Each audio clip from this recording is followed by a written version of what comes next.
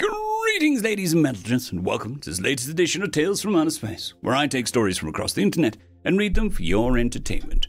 This particular story is called Pillars of Warfare, written by Nemo404.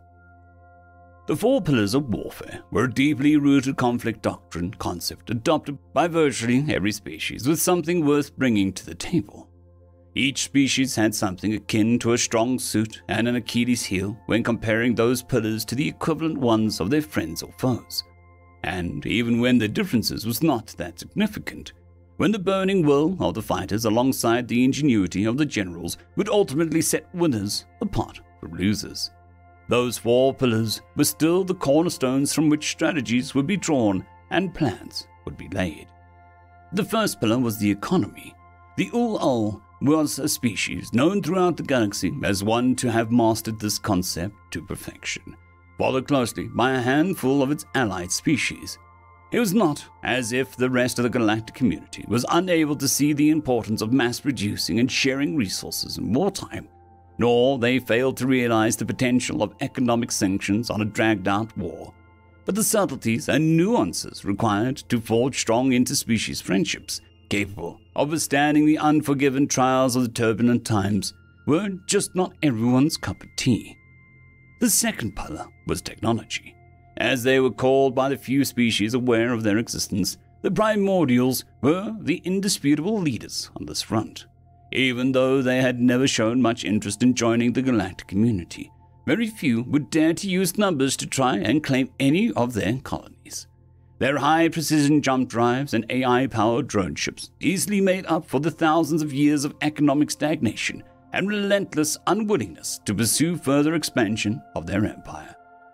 The third pillar was logistics. The Zuknunans, notorious for their cheap modular shipyards that could be built on demand at any place with access to basic resources, in addition to their unbreakable supply chain and large scale transport of personnel capabilities were a perfect example of not only how to use logistics to win a war, but also how to profit from the conquered afterwards.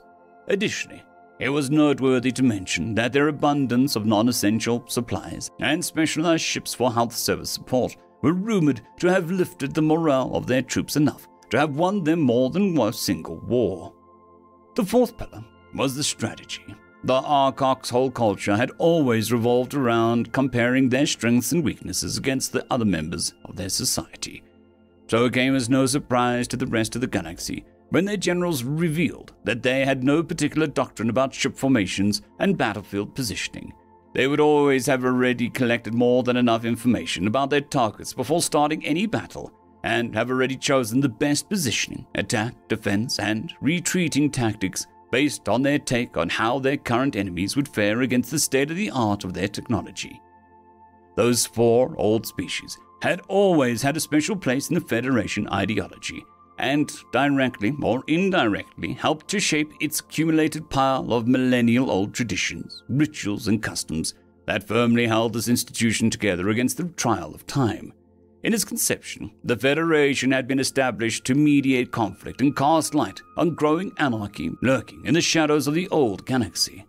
But slowly and steadily it amassed more responsibilities, such as guiding new species and even uplifting others deemed unable to achieve FTL independently.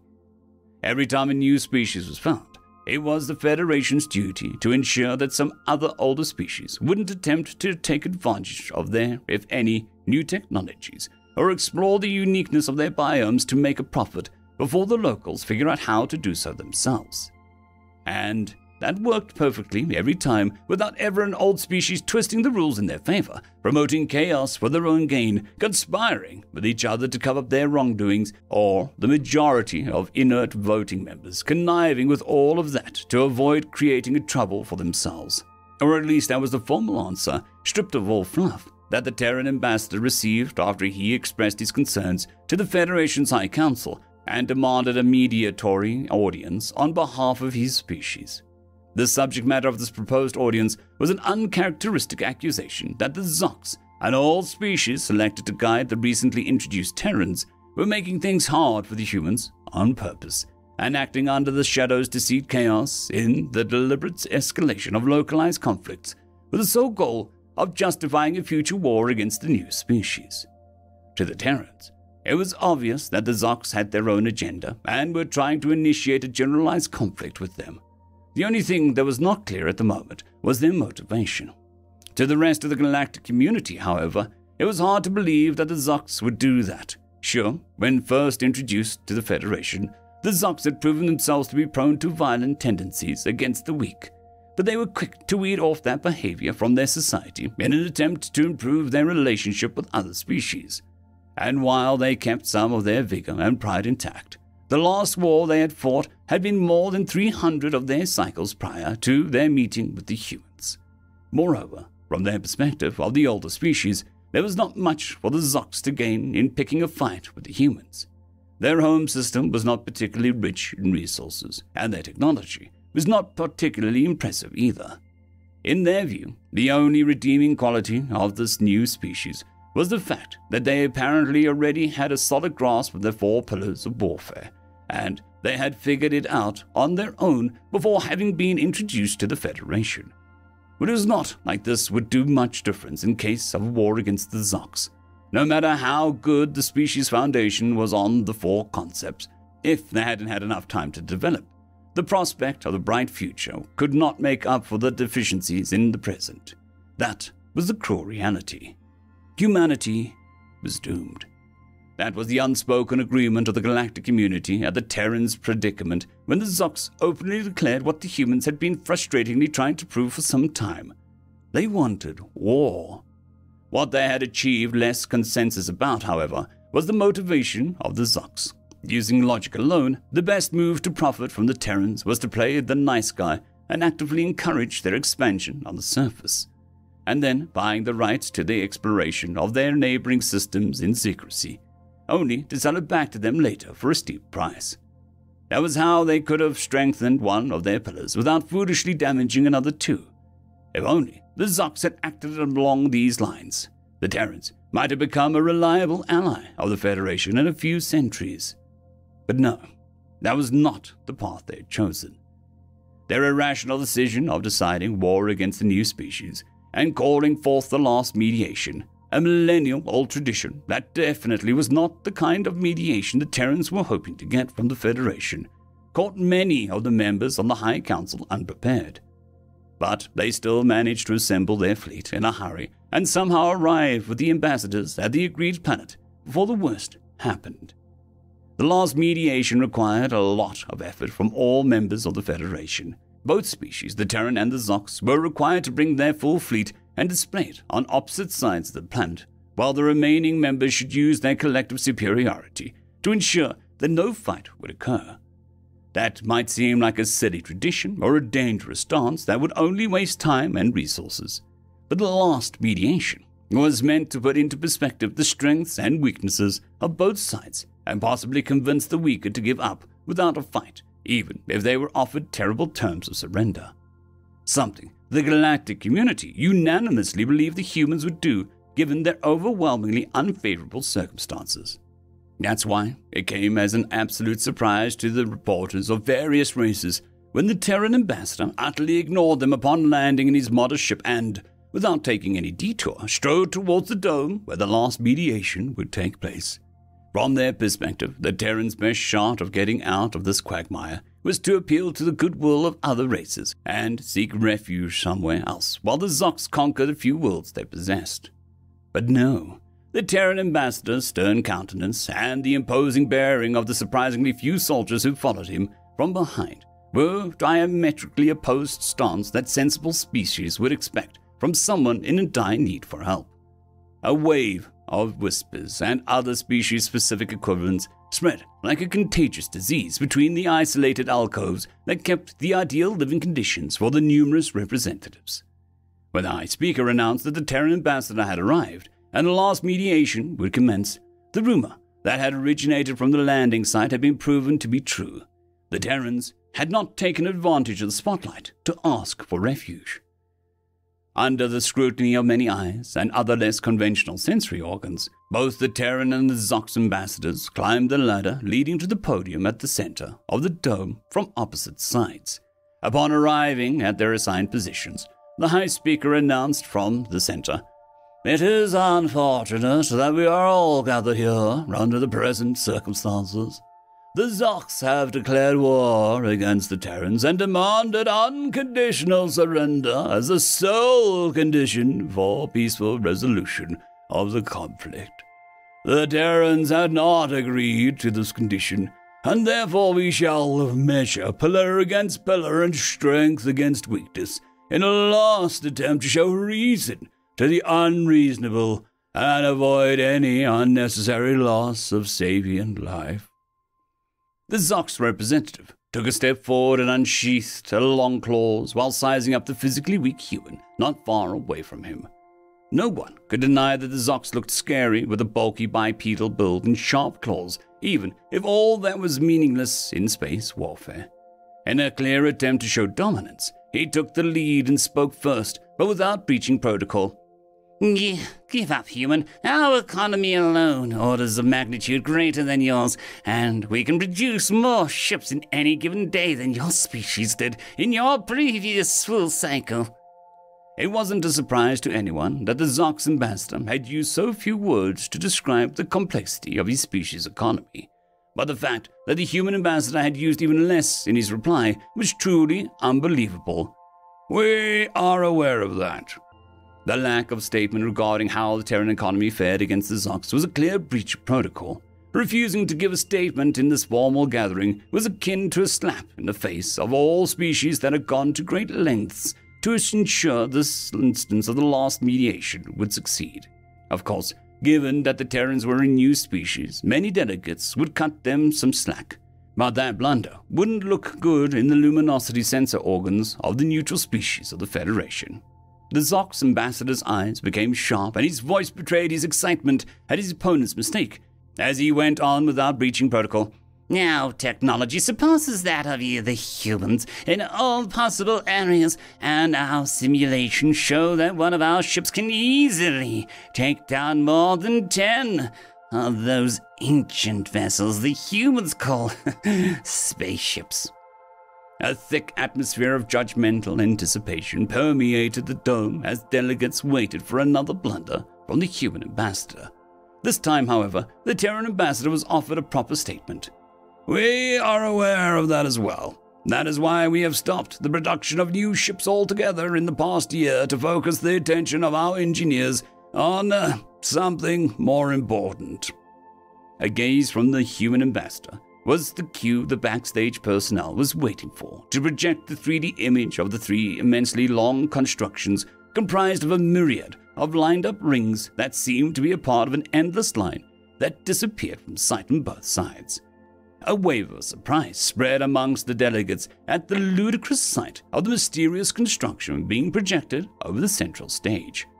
These are three makeshift modular coil guns that our scientists came up with after we realized the evil intention of those who were supposed to guide us through the ins and outs of the Federation.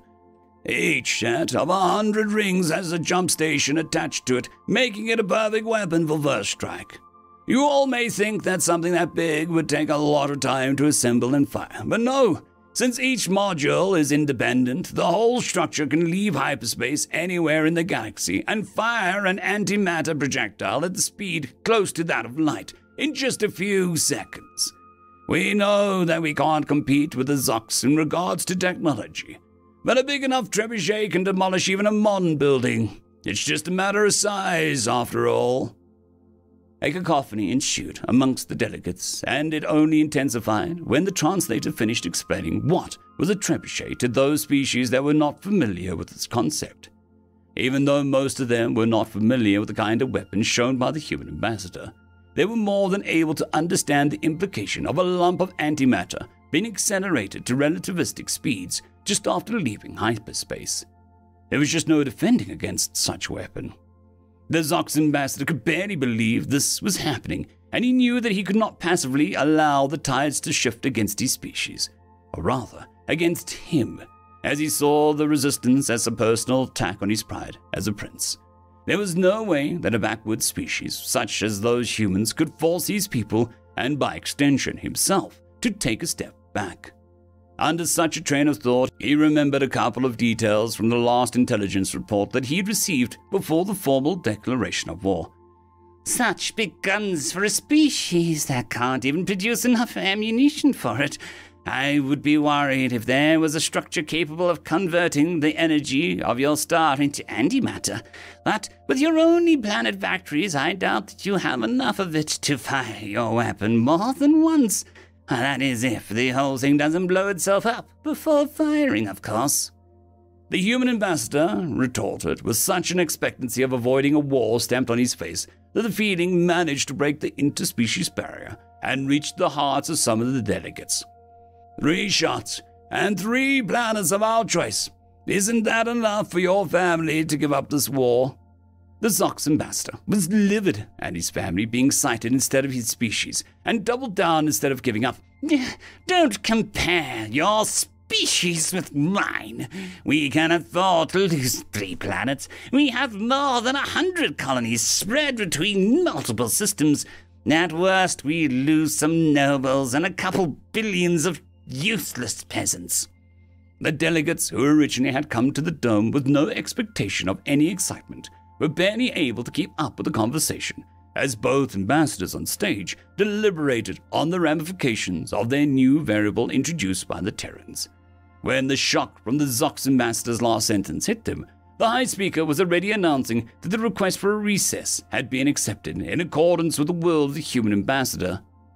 The human looked quite dejected as he left the podium without entertaining the inquiring looks coming from the alcoves.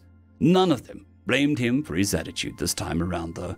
The humans had laid down a perfect plan for ending this war, only to have it torn down by the Zox' sheer stubbornness. About an hour went by in the blink of an eye as the delegates lost themselves in heated debates about the reason why the Zox would go to such lengths to go to war with a new species. What kind of profit or offense was so great that it would be worth losing three planets over? Before any meaningful conclusion could have been reached, the High Speaker announced the continuation of the last mediation. Silence propagated steadily as the thickness of the atmosphere grew by a whole order and magnitude as both ambassadors returned to their assigned positions.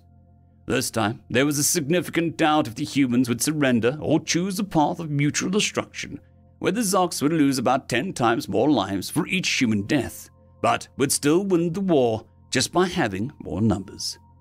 The Zox ambassador took the lead once more, but this time he was much more serious about describing the logistical capabilities of his species.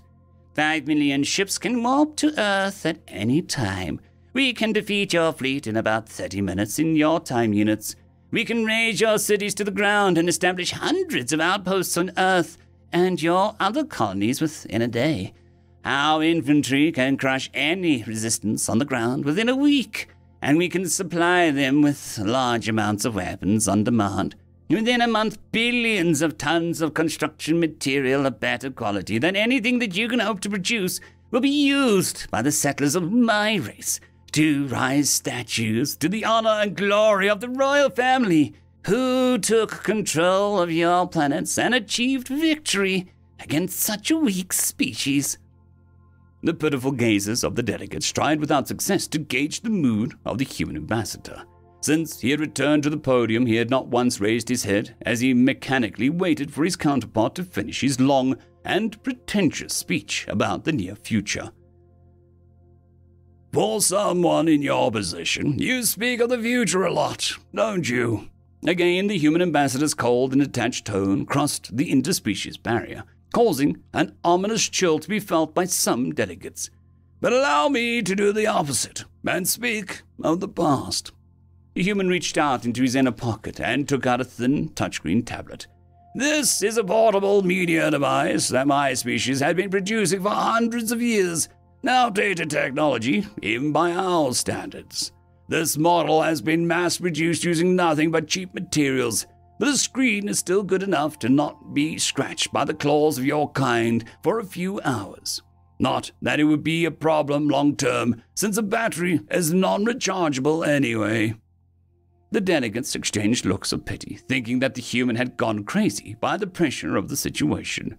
while the Zox ambassador took the device as a half hearted attempt of the Terrans of offering his species that thing as a souvenir of surrender and the hopes of getting better treatment in the near future. The human ambassador ignored all of that and went on. An hour ago, all of our merchant ships managed to deliver millions of containers full of these devices to all the peasants of your planets at the same time. Isn't that a great feat of logistics? About 30 minutes ago, a good chunk of your population had seen a video describing human weapons and also of you saying that your species could afford to lose a, a few planets.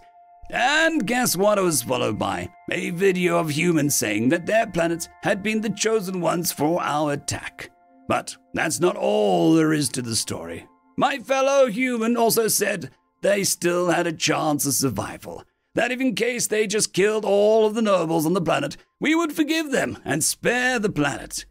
All of that was followed by a countdown and a map to the closed target, with an ominous soundtrack to remind them that their time was running out. A culturally specific one, of course. The human ambassador delivered each of these sentences with such intonation that the Zox prince immediately pictured the scenario of mass hysteria taking place in the many planets of his empire. It was so clear that he almost could touch it. Every piece of the puzzle made sense. The merchant ships entering the planet and taking advantage of the lack of security caused by his fleet attending the last mediation in its entirety. The peasants, who were mostly unsatisfied with the nobles and lacked proper education, believing humans and rebelling at once. The nobles, who were too complacent with the status quo not having enough security to protect themselves. Every piece fitted so perfectly that it was scary. Confusion, panic, unacceptance. Before the delegates could fully understand the implications of what the humans had done, the Zox ambassador shouted angrily, The rules! Those animals broke the rules!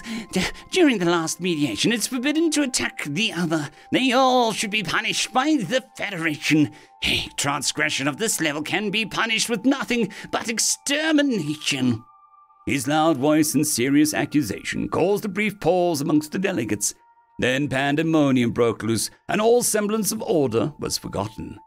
It took more than just a single fake cough to capture back their attention, but eventually the human ambassador was able to speak on behalf of humanity. We've done nothing against the rules. All of our military fleets are still orbiting this planet, and not a single gun had been fired against the Zox. If there is a rebellion happening on their planets, it's because their citizens do not agree with the war declared by their rulers. The Zox ambassador was struggling to calm down and prepared a series of good arguments to prove his point. The High Speaker was faster. No rule has been broken, and therefore no punishment shall be inflicted on the humans. The High Speaker was aware that he was witnessing a moment that would go down in the history of the Federation so he tried his best to hide his apprehension and awe and do his job properly in the face of this paradigm shifting warfare tactics the Terrans had just employed. The last mediation shall proceed as intended. There is nothing to continue. This war is over now. The Zox ambassador was furious. He scanned the delegates below with such intensity that some prey species nearly fainted on the spot, while a few predators amongst them took a step back out of reflex. His dismissive eyes rested on the human. I have a rebellion to contain, but don't think for a second that this matter is over. I am not opposed to you leaving now if you wish to do so, but allow me to give you a piece of unsolicited advice before you go. As he spoke, the human ambassador's eyes never met Zox, and instead faced the delegates below. Your species, like uh, many others here, walked a long path in understanding and perfecting space war and its variants. And yet, you still lost today. You lost more than what you know. You lost a war. You lost a kingdom. You lost the loyalty of your generals. And you also lost your life. You just don't know that yet. We know that your family sought this war because of a need of a foreign enemy to justify the lack of resources and care given to your own population. And we know that the nobles were thrilled to lead their shining ships to conquer a distant foe in remembrance of a nostalgic past of glory. All we did was see through your plan and react accordingly. But back to the topic of your life. It was not our intention to kill you today. It just happens that our communications officers in orbit were not pleased with all the harassment and threats that were coming from the captains of your ships. So they broadcasted some images of what was happening to their families back at Zox Empire. Well, they were stuck here for the last mediation because of you. My advice for you is to stay in the storm as long as you can, because it just takes a single trigger happy captain or some power hungry noble to order an orbital strike on the ship of an unwanted monarch. The human ambassador then proceeded to leave the podium without even addressing the mess his speech left behind. To this day, many historians still try to piece together what happened behind the scenes that day. Some say that the Zox ambassador was afraid to leave and followed the advice of the human for as long as he could. Others say he threw a fit and was arrested by security after trying to kill the human representative. The only thing that is certain is that his ship blew up later in the upper atmosphere, and the laser that hit it was fired from somewhere within his own fleet. This, alongside other casualties in the royal family, caused the Zox monarchy to fall apart and their empire to implode in a complex process that some members of the Federation barely understand. But the humans surprisingly had a word for it balkanization. The Terrans never formally left the Federation, but refused to participate in meetings or reply to any communications attempts. The three modular coil guns were never used in battle, but served as a great deterrent that allowed the humans enough time to develop their own technologies. Late attempts were made to bring the Terrans back as active members of the Federation, but when they had developed enough to have nothing to fear from us, it also meant that they had nothing to gain from us.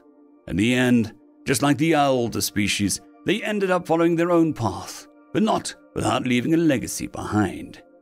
Another pillar had been established, and the term information warfare was now known throughout the galaxy. End of story.